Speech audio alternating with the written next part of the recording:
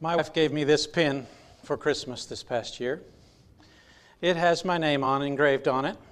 It's a cross pin. Maybe some of you have got cross pins before or similar pins. You know that inside they have a, a replaceable cartridge when the ink runs out. This pin is empty. Um, I'm not worthy to stand up here and speak, but I'm willing. And when the Lord calls me through the years, I have. I'd like to say that in preparation for today's message, I've never used so much ink crossing out and rewriting and crossing out and rewriting as I have for today's. I come before you today, as always, and I say, Good morning, my Heritage Bible Church family and friends. Thank you. You're right. They are doing great this morning. Wow. And this morning, that greeting has extra special meaning to me. None of you have the same mother and father that I do.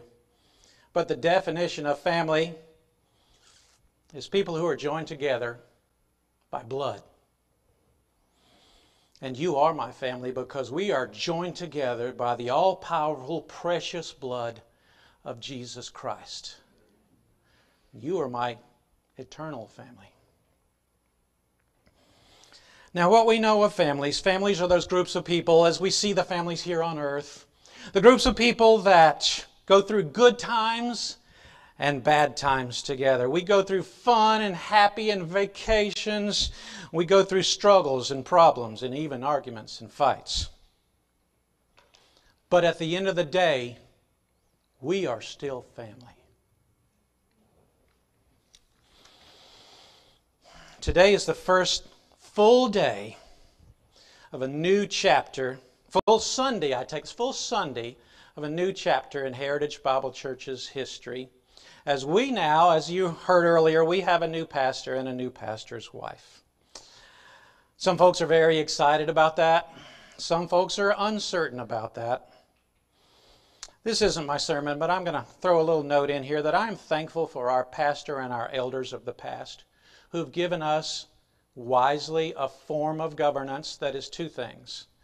One thing, as a church, our governance is founded solidly on the scriptures on in Timothy and Titus of our structure of our church is founded solidly on Jesus Christ and his word. And secondly, I believe they had the wisdom to understand that we need doctrinal accountability. We need checks and balances and I believe our elders and our pastor was wise enough to put those into our founding documents and I'm thankful for that.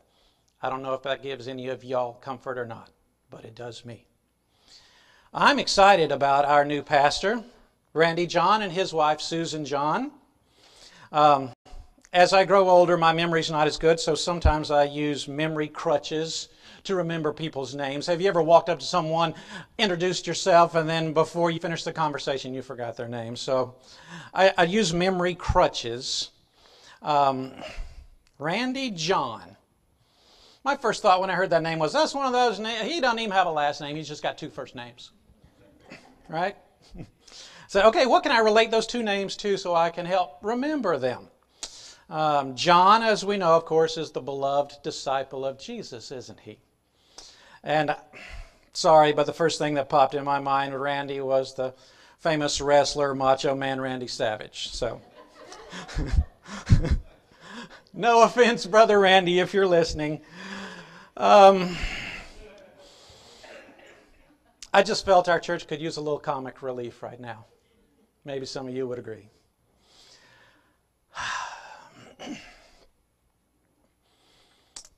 Some of you, many of you, were involved in the process of selecting a new pastor, and maybe in small ways, maybe in large ways.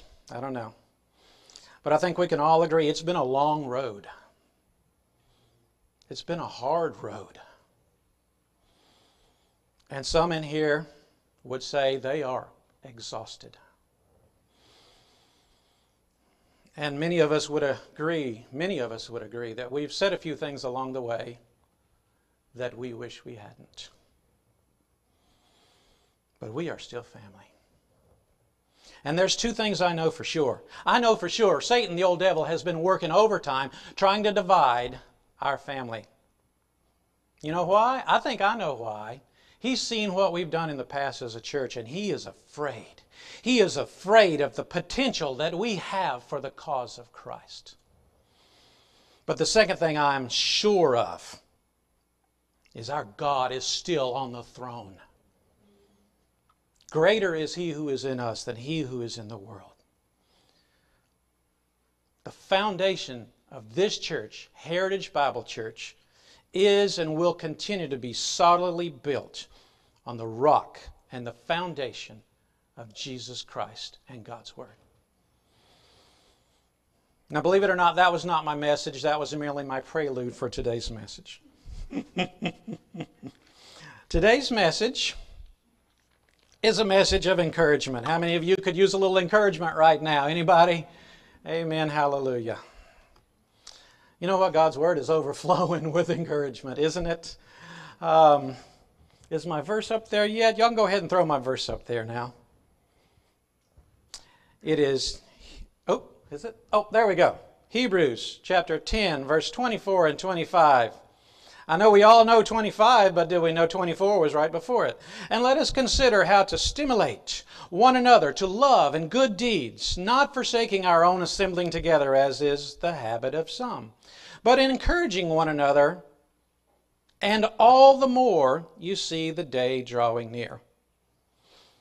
Let's pray. Heavenly Father, I pray that, as only you can, that you would quiet our hearts and minds and our distractions, and that right now our focus would be on your word, and that you would deliver to each of us the word that you have prepared for us today, as only you can. In Jesus' name I pray. Amen. Now, I see these two verses, and I see what's, I don't mean this disrespectfully in any way, but I see what I fondly call a truth sandwich. All right, you got the bread on the top and the bottom, and you got the meat in the middle. Let's talk about the middle of this truth sandwich first. In the middle of this passage, we are instructed to not forsake the assembling of ourselves together. And then it says, as is the habit, the manner of some. Did y'all know that Satan, the old devil, doesn't have any new material? 1 Corinthians 10:13 No temptation has overtaken you, but such as is common to man. That quite simply means the old devil just keeps on using the same tricks over and over. And sadly, the truth is, he doesn't need any new tricks. You know why? yeah, you know why? Because we keep falling for the same old stuff. Over and over, generation after generation. And this verse describes it. Just look at it. As is the habit of some. 2,000 years ago, Satan was already busy tempting folks to not attend church. And clearly, he was having some success, wasn't he? This temptation is at least 2,000 years old, then, isn't it? Now, let's take a minute and look at some of the specific reasons sometimes we don't attend church. We don't assemble together in person. Um, see if they're 2,000 years old or more, too. Sometimes um, we don't go to church because it is too cold. Hey, I'm a Florida boy. When it gets down below 50, I'm freezing. I know some of you folks from up north are laughing at me right now. oh. Sometimes it's too rainy. Uh, and, and, and that can be a legitimate reason, especially for our senior citizens who, on a very hard, rainy day, we don't want them slipping down and hurting themselves, do we? We don't want that. You know, the opposite of those weather conditions can be true as well. Sometimes it is a beautiful day outside, like it is today. Oh my goodness, is that perfect out there today? I kind of think to myself, that's exactly the weather heaven's going to be like every day. But sometimes we think, oh, it's such a beautiful day outside. Um, let's go do something fun. We haven't been to the beach in a long time. Let's go to the beach. Or let's go fishing. It's a perfect day to be out on the boat and on the lake. The water is calm. In a few months, we have hunting season coming up. Hmm? Huh? Where's Henry? it's okay. He never hunted on Sunday, I promise. oh. And then here's one that's probably not 2,000 years. All those are at least 2,000 years old. Uh, how about this one? Uh, it is a beautiful day to go play some golf. Hmm?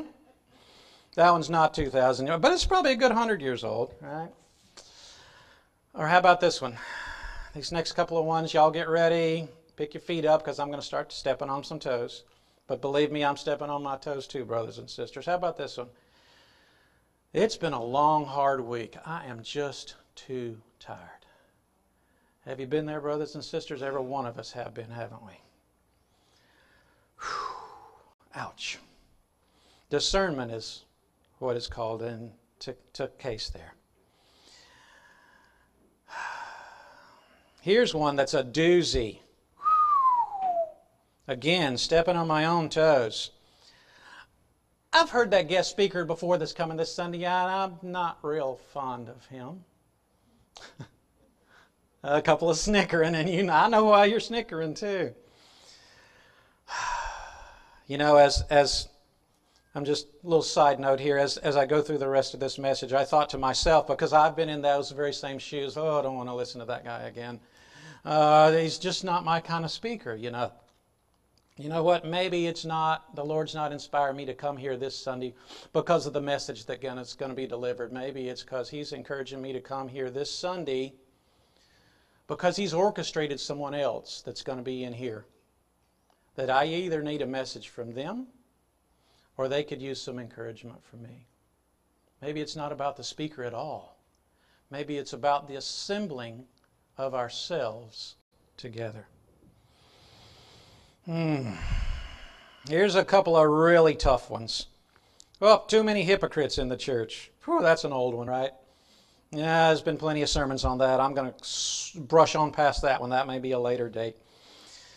How about this one? I'm going to stop here a little bit there. You don't have to go to church to get into heaven. And that's true, you don't. I don't see anywhere in Scripture where it says St. Peter's going to be standing at the pearly gates holding an attendance record. Hallelujah. Get out your pen and paper, folks. I'm about to give you the complicated mathematical equation of how to get into heaven.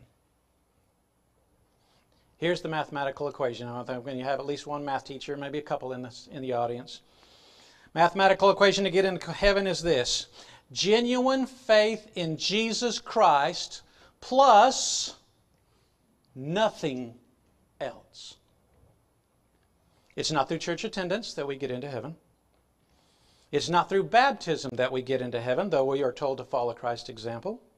If you remember the thief that hung next to Jesus on the cross, all he said to Jesus was this Remember Jesus. He called him by name. Jesus, remember me when you come into your kingdom. And that was enough for Jesus. Jesus said, You'll be in paradise with me today. I don't think that thief ever got baptized. I don't know if he ever even graced a threshold of a church, synagogue with his shadow. We don't get into heaven by how fancy our last name is or, or what family we come from, and we sure don't get into heaven by our good works and our good deeds. Ephesians 2 8 and 9 makes that real clear. For by grace we are saved through faith, and not of ourselves. It is a gift of God, not of works, lest any man should boast. I heard a pastor give a great message on that one time, and I love what he said about this. He said, I am so thankful that we cannot earn our way to heaven. Because if we could, you know, there'd be that one guy who would stand in there telling us all the great things he did to get here. And we'd have to be hearing about that for the rest of eternity. You're killing me, Smalls. but instead, my brothers and sisters, for all of eternity, you and I are going to be bragging on Jesus Christ. Hallelujah. So it's not by our works, it's not by our family tree, it's not by baptism, it's not even by church attendance that we get into heaven. Which begs the question so why go?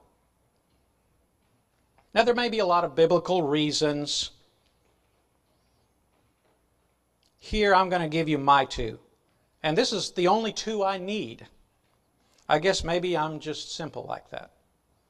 The first reason I believe it's important that we not forsake the assembling together of ourselves is because it's in Scripture. God's Word makes it real clear to not forsake the assembling of yourselves. God's Word said it, that settles it. I'm just simple like that, I guess. The second reason, if you need another reason, here's another reason though. You remember when Jesus finished the temptation from the devil? And he comes down out of the wilderness, and, and in Luke 4 16, it says this. And he came to Nazareth, where he had been brought up, and as was his custom, he entered the synagogue on the Sabbath. And as was his custom. Where was Jesus on the Sabbath? He was in church, folks. Following Christ's example is all the reason I need in the first place. I didn't even need it written in Scripture, just follow Christ's example. But we follow His example, we have it written in Scripture. I don't know why there's a debate about this. We had a family many years ago in our church who debated this verse. And actually, it, was, it was an oddity to me. I didn't understand why there was a, a debate about this. Titus 3 9 says, But avoid foolish controversies and genealogies and strife and disputes about the law, for they are unprofitable and worthless. Now, there's a time and a place for everything, and there's a time and a place to debate and to understand and correct. But we're called to come here for a couple of different things. And clearly, this verse makes it real clear what one of the primary things we're called to come and do when we assemble together is. So let's back up for a moment as we look at this passage again, Hebrews 10 24 and 25, and we see on the top of the sandwich and on the bottom of the sandwich. Well, first off, we see the middle of the sandwich makes it very clear. Don't forsake the assembling of yourself. Come together. The top and the bottom of the sandwich, they are certainly many reasons why we attend church, but this passage seems to only focus on one. Before and after, with just one reason to encourage one another, to stimulate, to stir one another to love and to good deeds, is why this passage calls us to not forsake the assembling together. Let's think a little deeper for a moment about all the reasons you and I can give for coming to church, and they are all legitimate reasons. Singing to our awesome Lord, He is so worthy and deserving of uh, that. Thank you for all your work, Brother David, in leading us in that. And to your bride as well, who's, I guess, not here today? Okay. Praying we're told to come together where two or more are gathered together and ask anything in His name. We have prayers of thanksgiving. We have prayers of supplication for all that we are in need of. We are reading His Word when we come and gather together. We are learning from His Word, and hopefully we're sharing with one another before and after encouragement from His Word. We're testifying of His goodness. We do that every fifth Sunday. I think that's a wonderful thing that we've added in there. And we are called in this verse to encourage one another. Now, I gave you that list because I want you to give a little challenge here. In this new post COVID world, where nearly all churches live stream, there's probably some folks watching us right now. I think our average is two a week, humbly. but we have a lot of potential there, then, don't we, folks? Not to mention, many great pastors have their own TV show how many of these things in this list I just listed off can we do if we stay home and watch church on TV? Now, don't get me wrong. I know there's sometimes we are sick, sometimes we are homebound. This is a great second option that our service can be sent to our home on, in times of that occasion. So let's talk about that Can we sing if we're sitting behind our TV at home? Yeah, sure we can. Might not be quite the same effect and the impact, but we can. Can we pray when we're sitting behind our, behind our TV set at home? Sure we can. Can we listen to what's going on in the service, the message that's being proclaimed? We can read from God's Word because we got a Bible at our house, hopefully. How about encouraging one another from the privacy of our own home behind our TV screens? It's kind of tricky, isn't it? Thank you. I'm not saying it's totally impossible, but that is the one thing on this list of reasons that we must be present to do well, to assemble together. Now, for most of my life, my focus on this passage has been on the middle part of the sandwich, not forsaking the assembling together of ourselves. I guess maybe because we had that come up as a issue before, and, and it just seemed so odd to me that it could be set around and debated. But, but just recently, I have noticed the sandwich effect sandwiched together before and after is the reason for assembling to encourage one another, to stimulate one another to love and to good deeds. Folks, I got a news flash for you. This life is hard. Every week when we leave here and we go back to our homes and our neighborhoods and our careers and, and just uh, a, everything we go to, this life is hard. This life will beat you down and keep you down if you let it. And uh, folks, being a Christian does not exempt us from struggles. Did you know that? Jesus said, In this world you will have trials and temptations and tribulations. Jesus taught us that it rains on the just and the unjust, doesn't it? Boy, we don't understand that sometimes, do we? And he also said, Do not worry about tomorrow, for today has enough trouble of its own. As Christians, we are not exempt from struggles. I'm going to read a couple of wor- words here of emotions, things that we have come through that we may feel after a long week out in the world apart from one another. You ever get discouraged out in that world? You ever get depressed? How about frustrated? Anybody ever been frustrated after a long week out in angry? Hmm. We all get angry sometimes, don't we? Some of us would admit right now we are exhausted. How about overwhelmed? How about fed up? Have you ever been fed up? This life is hard. Now, here's a cool thing our Lord does not want His children, you and I, to turn to the coping methods of this world.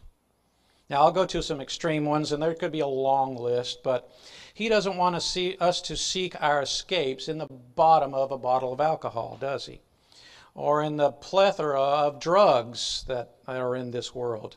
Um, uh, there could even be some simple things that he doesn't want us to um, escape from the struggles of this world eating, an overeating disorder, shopping.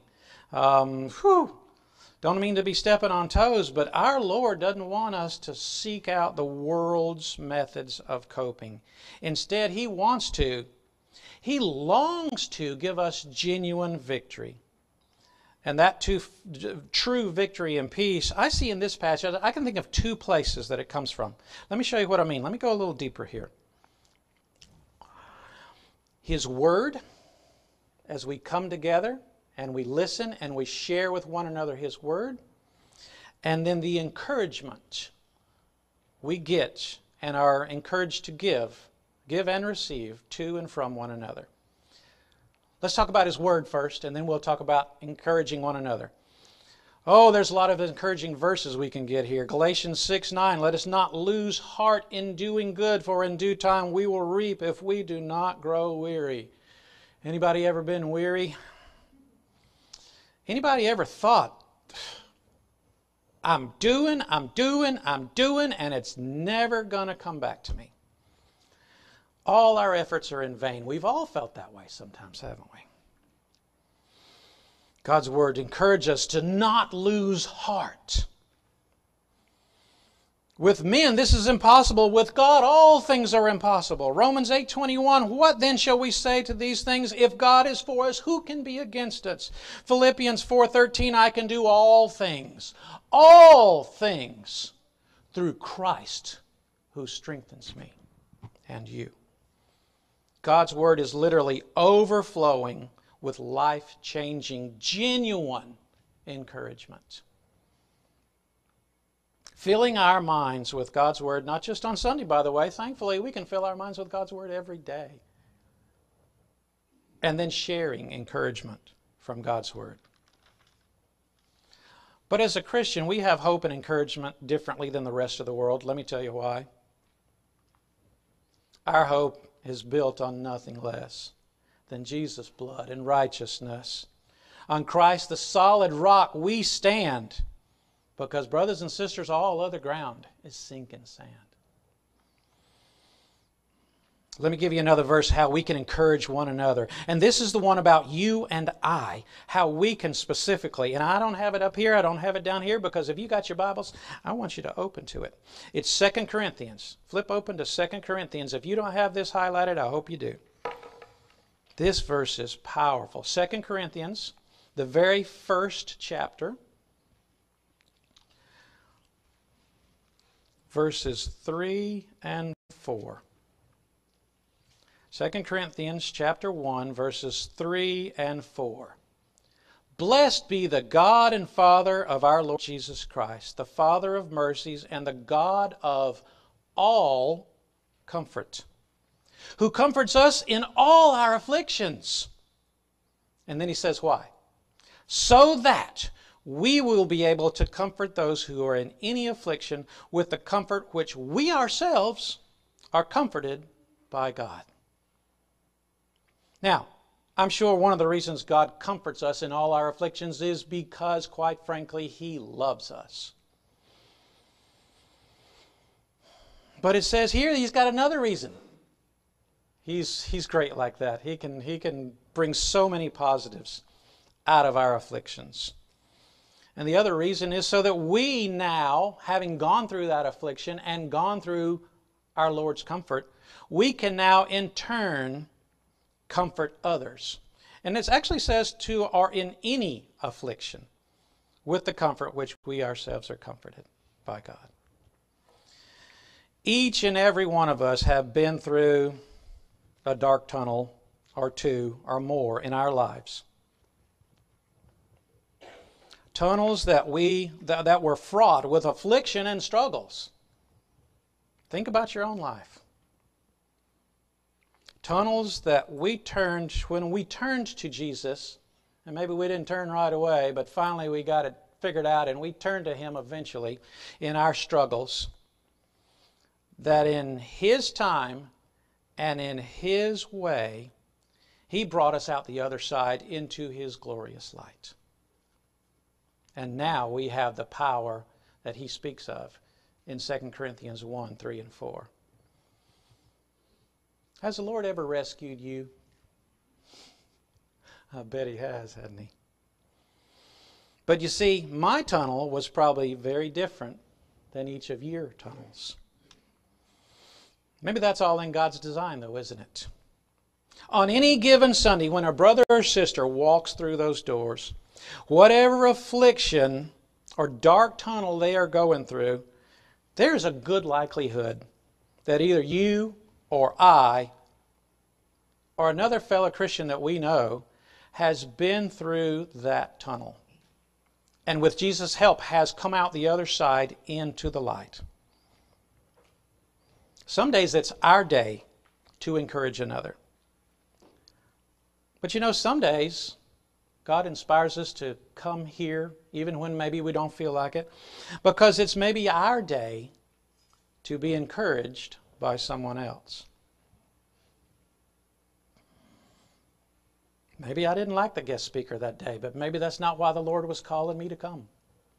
Because He had someone orchestrated to either be encouraged or to encourage me. And did you know our encouragement can even help one another resist the temptations of sin? This is a cool verse, not a real popular verse. definitely doesn't make the list of top 10 most popular verses. Hebrews 3:13. But encourage one another day after day as long as it is still called today. Isn't that kind of funny to say as long as it's still called today? I guess if we're in today, today is never called tomorrow. Now, once we get to tomorrow, it's today now, it's not tomorrow. I don't know, it's just one of those. But encourage one another day after day as long as it is still called today, so that none of you will be hardened by the deceitfulness of sin. Our encouraging one another can help avoid the temptations of sin. Let me show you why. The Lord gave me this verse. I pieced these two verses together. Have the Lord ever given you some verses that you piece together and it's like, wow, you know, I never, I never thought about those two together, but now it opens up a whole new understanding. 1 Peter 5 8, I bet you do know this one. Be sober, be vigilant, because your adversary, the devil, walks about like a roaring lion, seeking whom he may devour. That's a great analogy as I think about it. A roaring lion walking about seeking who he may devour. Any of you guys love to watch those animal shows on TV? We do, yeah. And sometimes they get pretty graphic, don't they? All right. When the pride of lions are, are getting some dinner, they're going after a herd of whatever it is. Who do they seek out? They seek out the easy mark. They seek out the young, they seek out the weak, and they seek out the injured. By the way, just a little side note if you're in here today and you're under 18, you're one of Satan's primary marks. Listen to your parents, okay? They want to protect you from that lion. I think of a couple of visions I've seen on TV of the animals. I think of hippos and crocs. Um, there was this crocodile that was trying to get him a baby hippo.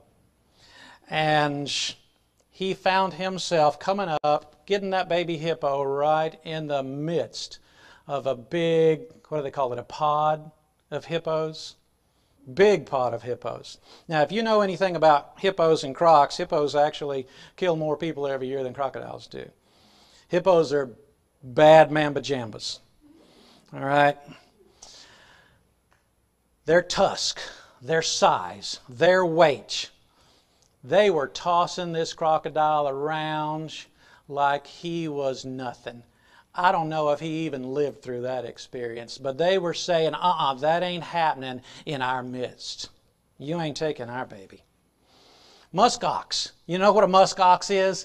Um, that's that uh, big, hairy, buffalo looking thing, but he's super hairy. And they're all way up north in the frozen tundra that stays 70 degrees year round, near about, I think, 70 degrees below year round. I almost messed up there. 70 degrees below. By the way, I'm never going to vacation there, so anything I learn about that, so I'm going to be on a video. Um, woo! Their main um, one that comes after them, of course, is the wolves. The wolves come after the musk ox. They come after the young and the weak and the injured. But there is a really cool tactic that the musk ox has. I bet some of you have even seen it. They form a tight shoulder to shoulder circle, all their heads facing out, and the young and the weak are in the center protected.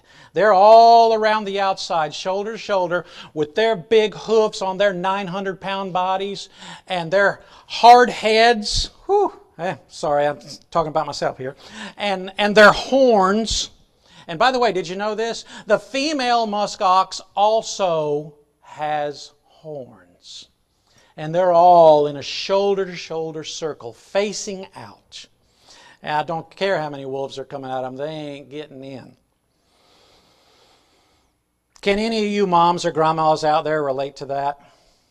If you're going to come for my baby, you're going to have to come through me. Oh, that we could have that kind of passion for one another. You see, when we put these two verses together, they say this When your fellow brother or sister are going through tough times, when they are discouraged, angry, frustrated, overwhelmed, they are a primary target. They are an easy mark for Satan and his temptation. And we, in this passage, are clearly, no debate needed, called to come alongside and encourage one another day after day after day continually. As I prepared for this message, it inspired me. I know, I don't know some of y'all as well as I should. I know a lot of you real well. Some of you I don't, probably don't know as well as I should. I don't know about y'all, but from now on, when I come to church on Sunday, Wednesday, whenever we meet together, I'm going to try to put a high priority on getting to know you better. Because none of you care how much I know until you know how much I care, right? Let's get to know each other better and put a high priority on encouraging one another. Because this life is hard, and we need the encouragement from our brothers and sisters on a regular basis. If I may borrow a line from Helen Crow, she has been wonderful all summer as she has encouraged us to look for opportunities. She did it again this morning, too, didn't she? Look for opportunities. And I'm going to, if I may tag onto that, let us look for opportunities to encourage one another. Let's pray. Heavenly Father, thank you for your word. Thank you for all the encouragement that we get from your word. Thank you that you are the solid rock we can stand on. And as Christians, we need not live depressed and distraught. This world will get us down, but remind us to come back to you and to your word and to your fellow brothers and sisters that we may encourage one another all the more. In Jesus' name we pray. Amen.